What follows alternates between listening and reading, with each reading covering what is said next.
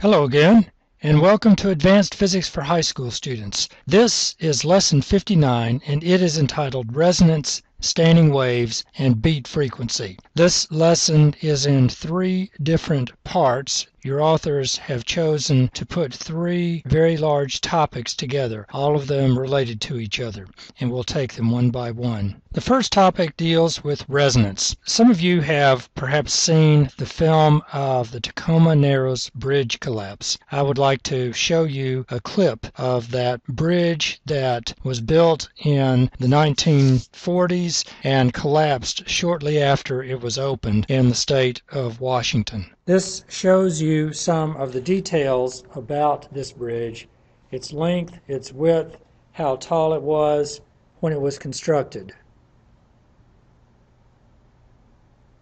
During the construction phase of the bridge, you can see a cross section here of a solid girder that is holding the bridge. The bridge was carefully designed and was well built. But even during the construction, some vibrations were observed. On opening day, people crossed the bridge and then began to notice the unusual vibrations. The bridge vibrated for about three months, was referred to as a galloping Gertie. However, on one day, the bridge actually went into a torsional or a twisting sort of motion. These are shown in real time here with a period of vibration of about five seconds. There's a car that is located on the roadway during the vibrations. This automobile was abandoned by its driver. No people were killed in this accident, but there was a small dog that was trapped inside. You can see the driver of the car making his way in along the nodal point the center line of the bridge as he tries to escape from the car. He tried to rescue the dog, but the dog bit him. The bridge vibrated violently in this mode for about an hour's period of time before it eventually collapsed.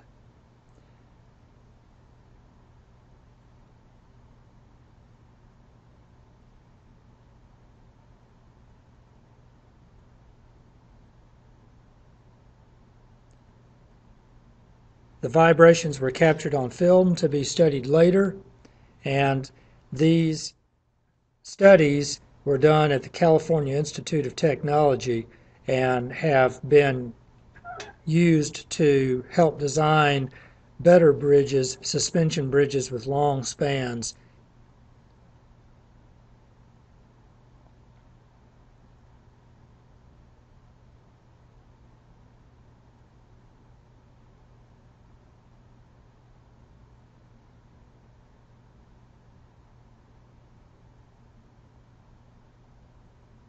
The center span collapsed after this violent motion. The bridge was eventually rebuilt. It was redesigned, and there are, in fact, a pair of twin bridges that stand across Tacoma Narrows now. And those bridges are don't show the sort of vibration that this particular bridge did.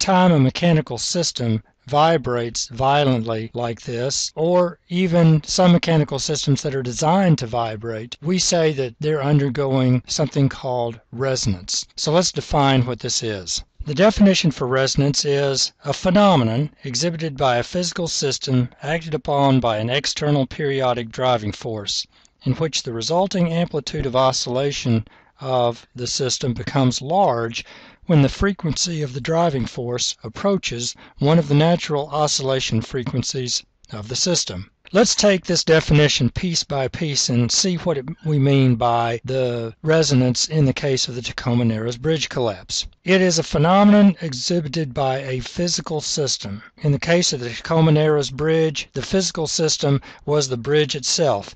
The fact that you had these towers that are upright, you had this concrete motorway that was built on these stiffening I beam girders, the suspension cables that were along the sides to hold up the roadway.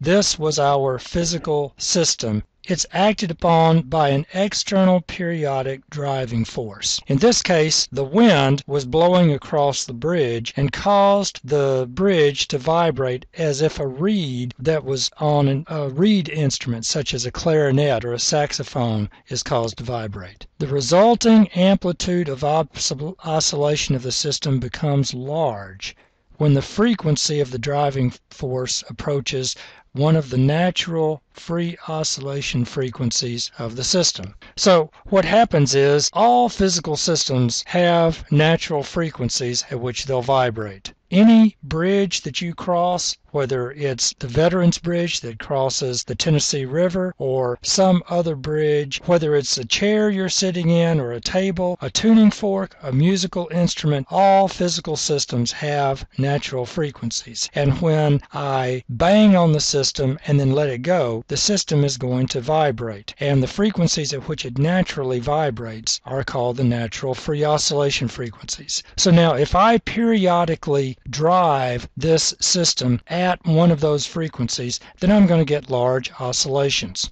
There are two physical systems that you ought to know what the natural frequencies are. They're for a mass on a spring and for a simple pendulum. And let's remind ourselves of what those formulas are for the spring and the pendulum. If I have a mass m that is attached to a spring of stiffness k, then this mass will naturally vibrate at a frequency that's given by F is equal to 1 over 2 pi the square root of k over m. That's a formula that you should memorize if you have haven't already. For a simple pendulum of length L, then the frequency of free oscillation is 1 over 2 pi square root of G over L.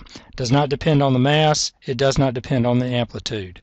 This is another formula that you should have memorized. I'd like to show another example of resonance. This is of a different mechanical system than Tacoma Narrows Bridge. This is a military, military helicopter that had experienced some problems pre- previously, uh, and it is showing resonance as a result of one of the rotor blades actually being off balance. And you can see that resonance can cause the thing to tear apart. This test was done on purpose to show the effects of resonance. Here's that same helicopter test done showing a rear view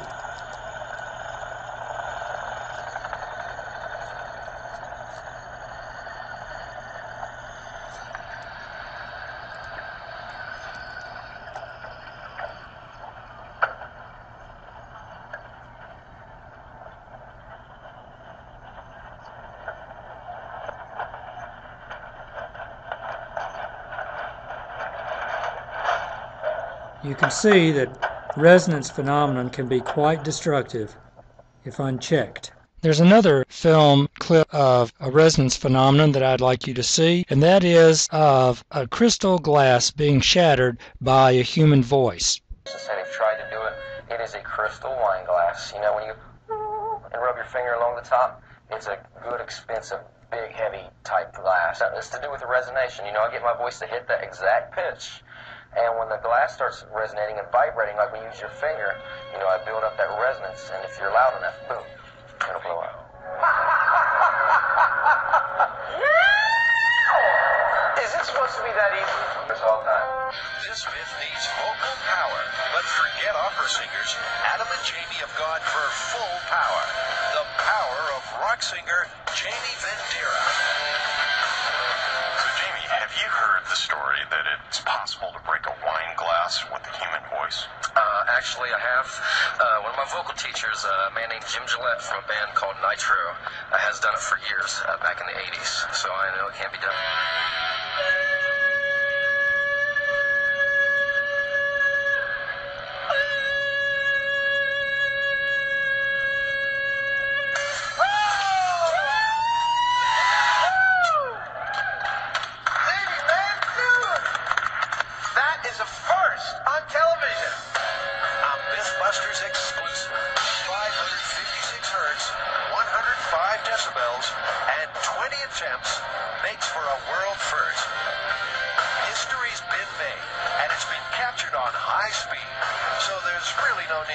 This one at home.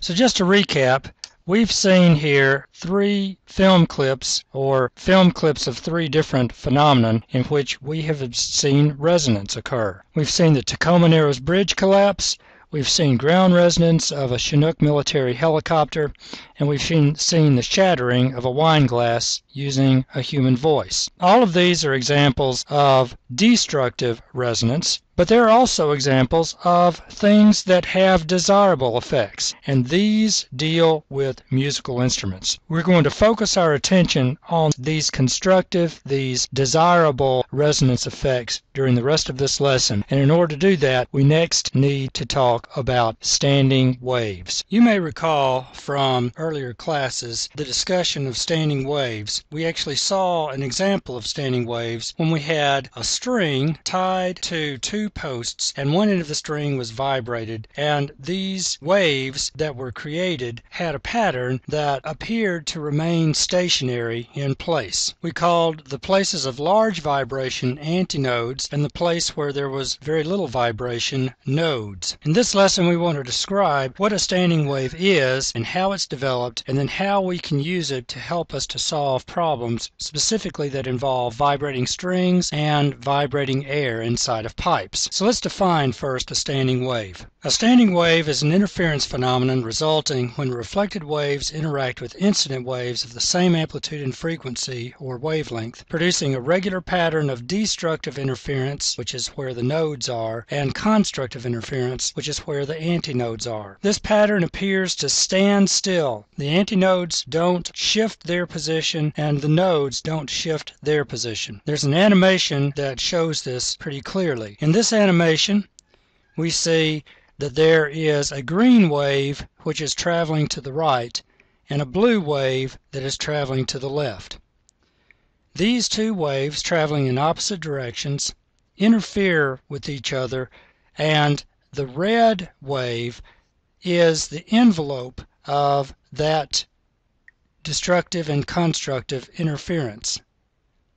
What we see here is that the place where the destructive interference occurs is the node, and the place where the constructive interference occurs is the antinode. Let's stop the animation in which these waves now happen to be at the point where destructive interferences occur. Now, as we step through this, the green wave travels to the right while the blue wave travels to the left. When they overlap crest with crest and trough with trough, then we end up with constructive interference. And so we have a place where there's a node in one, two, three, four, five, six, seven locations, and we have antinodes at one, two, three, four, five, six locations. As we continue to step through, and the waves continue on, then there comes another point at which the two waves, the green wave and the blue wave, are out of phase with each other. During that part, there is destructive interference happening all along the string. But as we continue, then we see that the waves will continue traveling and I get the nodes and antinodes showing up again. So again, playing this animation through, we see the resulting pattern in the red of these incident waves, say the waves that are in green traveling down to the right, and the reflected waves, those traveling in blue from the left. There are two important systems, strings and air vibrating in tubes, that we want to consider, and we're going to look at strings first. In a lot of this, we're going to see that we're going to be dealing with stringed instruments. Let's think about a string that has an unvibrating length of L. This might be one of the strings on a guitar. Say maybe it's the D string. This would be the distance between where the string is fitted on the nut up at the top end of the guitar and where it crosses the bridge at the bottom end of the guitar. Now let's suppose that we pluck this string and let it vibrate freely. What kind of pattern appears? Well, here's the pattern that appears. The string is going to vibrate up and down with nodes at each end and an antinode in the middle. This length of string has the equivalent of half a wavelength of length of this wave.